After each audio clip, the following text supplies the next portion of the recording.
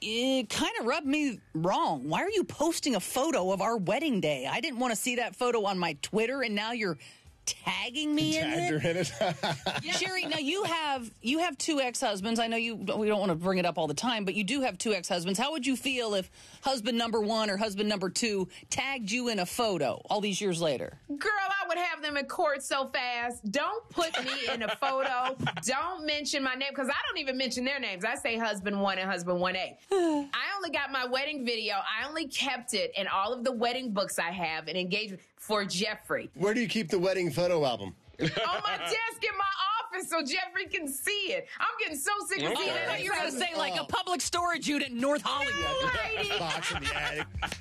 Hey, don't forget to hit us up on social media. We're on all these platforms at Dish Nation. We'll see you there.